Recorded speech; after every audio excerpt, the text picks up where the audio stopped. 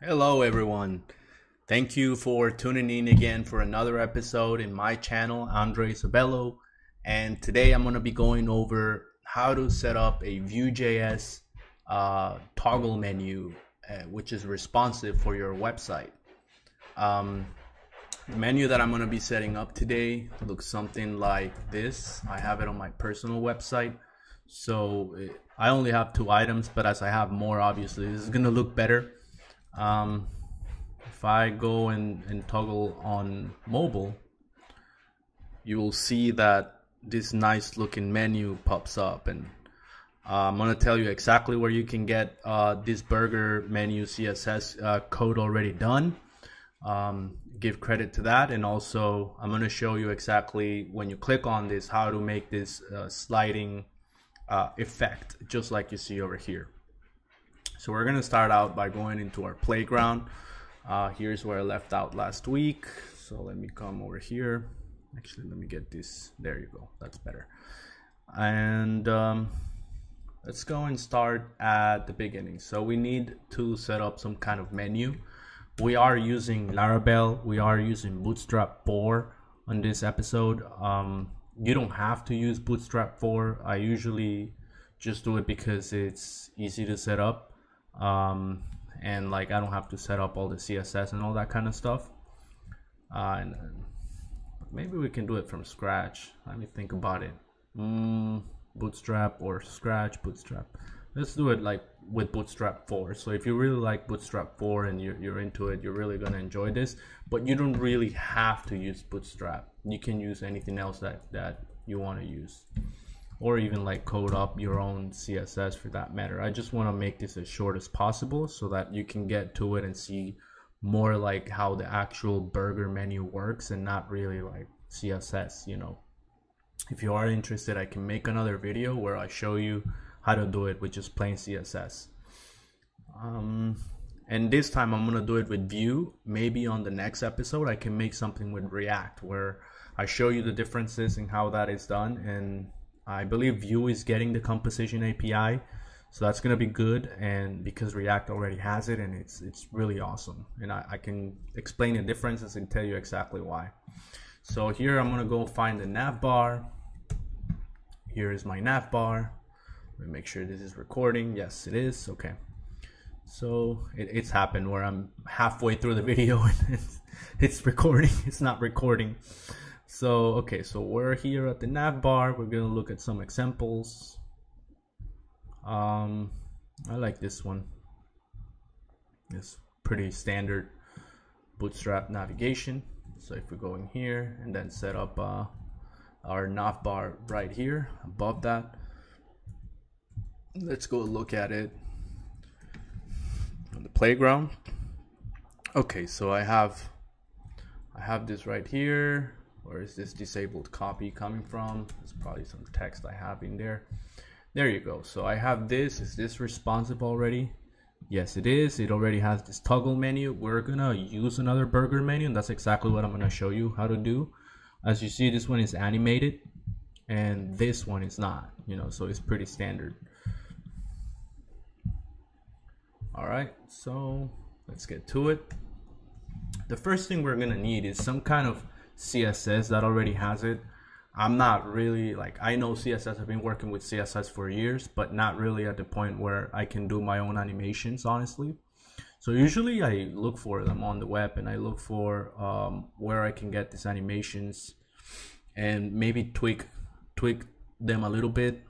Um, better honestly with PHP and JavaScript and that kind of thing. Uh, CSS I know, but not enough. Like this this right here is really good and i don't know if even if i knew how to do it at that point i would make it that good honestly. So i'm just looking here for um, code that identifies that. So i'm going to show you exactly what that looks like. Here let me bring this over here. Okay and um, all right burger right here so if you look at it, this is exactly the same component we're going to be building from. I'm just going to show you exactly how to do that. And I'm just looking for the library where I got it from. So burger menu. burger burger bar maybe I'll just do that it's actually looking for burger bars okay that's not what I'm looking for okay. All right let me find this because burger menu css animation. Oh there it is.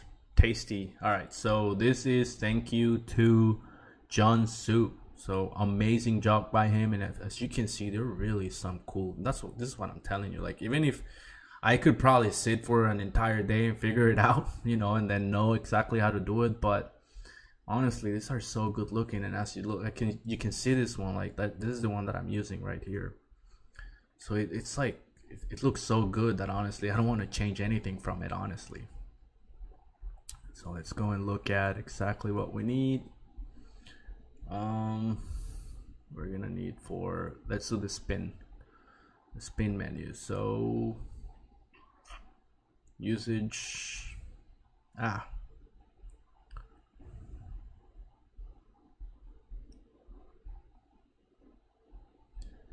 yeah maybe this one's a little bit complicated yeah I'll just show you from the one that I have so let me go back into this right here and I'm just gonna copy the CSS. I'm gonna leave the CSS files in my blog so you can get them and also on my Git personal Git account so you can get them and know exactly how to do it. Um, so you can see I don't want to go through all the CSS honestly. I can walk you through it but I'm not gonna do that all right now. So let's go back into our playground and we're gonna be creating a component. And this component is going to be called uh, burger. So now we're going to get this burger uh, component and I'm going to drop this right in there. So as you can see I'm already showing some errors and the reason why is because I'm not using language properly. So I'm using SCSS for this you can use CSS or Sass whatever your preference is and some of these variables have not been set yet so that's they're gonna show me an error uh, what I usually do, and as you see here, is I actually have uh, theme variables where I already uh, set up like my primary colors and that kind of thing. And that way uh, it can be consistent with the whole design of the website. We don't have that right now. So I'm just going to copy some, actually not copy, but go in here and look at exactly what colors I need. So I, I need this burger color and I'm just to set the variables right here. And this is going to be maybe let's do something like uh, I don't know like some some kind of gray.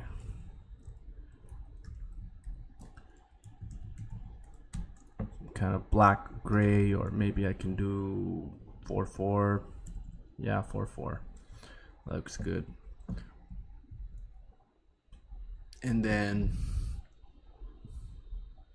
already a burger color. I'm gonna see where else I have um, so this primary color. I see that right now it's uh, referring to some blue so let's see how that looks. So if I do primary color and I do color like um, uh, let's just see blue. And then here this is nice about PhpStorm. I can just find the color I want right here with a color picker it's gonna give me that so primary so now let's see if I have any more errors. Oh, it should be good. I have primary and burger colors. So those are the colors going to be using. And let's start going through exactly what we're to need. So in the setup that I have right here, I'm looking at it and like, um, maybe we don't need all of this, but I'll, I'll just copy this and show you exactly how I did it that time. So div burger so that's to be your burger div. And then we're to be adding some kind of toggling action. So we need if I look back at that it's actually using a slot. Inside the slot the title is menu. I don't honestly know exactly why I did it like that but I don't think we need a slot right now. And then that's the button and the menu is gonna have this right here.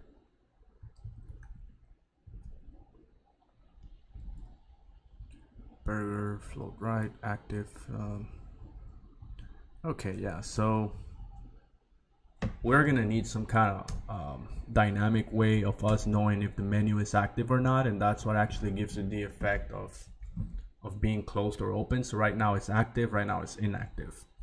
And what we're gonna do is we're gonna be binding that to an action right here. So I'm just gonna say active and I'm gonna have to set that up and I'm gonna do that on my data. Um, right here it's to be active is equals to false by default. And another thing I saw that I had in there was toggle and actually click and that's to be toggle active so basically what this is going to do is just going to turn toggle on and off and this is giving me it's telling me is I'm not returning anything. Okay now if I go back into methods uh, actually like that um, and I'm gonna do toggle active. What I'm gonna doing here is I'm just gonna uh, toggle the opposite of the active. So when I click on it it's gonna toggle its opposite. And that's basically this.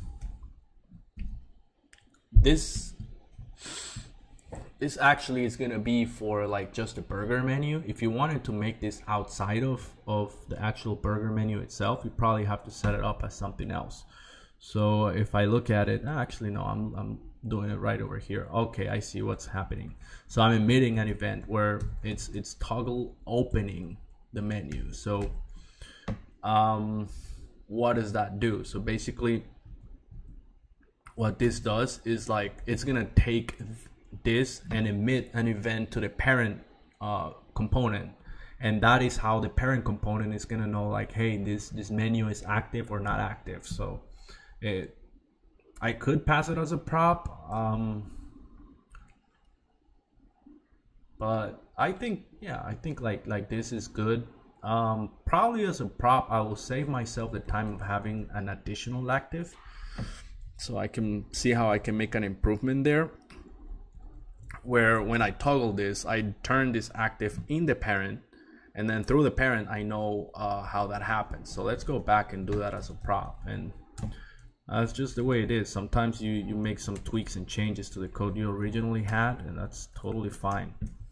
So I'm gonna do this. I like to be very um, strict about this. So if I'm gonna use a boolean, I just go and say, hey, this type is boolean. I think that when you have types and you you code with types it's, it's easier to catch errors whereas if you don't it's not that easy like you will have to like do some checks to see if what kind of type it is and like an example of that can be like maybe in here you pass a string instead of true or false you know? So um, maybe the code that i'm trying to get in here is looking for hey is this true or false you know? Like right here this is saying is this active true or false?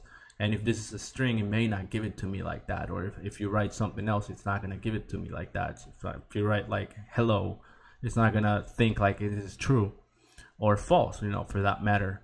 So if if you pass if you if you are strict about this then you you avoid a lot of errors you're to get an error saying hey you need to pass a boolean which is more of an easier bug to catch, you know.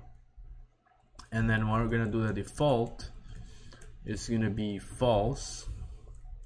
And I'm also gonna make it required. Required by default is false. In this case, I make it true. If you were just, if you didn't have it required, you don't need to do uh, re required false. You know, that's overkill because it already by default is like that. So you can just say in this case, default is required is true. So now I'm saying, okay, this this this cannot be done because at this point it's a property and it's not data. So you cannot change properties in the child component. You can emit an event where the parent is gonna get this toggle menu and uh, I believe it's right here. So instead of over there, I'm just gonna put this right here. Instead of using the bootstrap toggler, I'm basically using our own toggler and I'm gonna say add toggle menu that's how I catch the event what happens so probably active you know becomes not active and I'm gonna have to set these variables up in the parent which at this point is the instance of Vue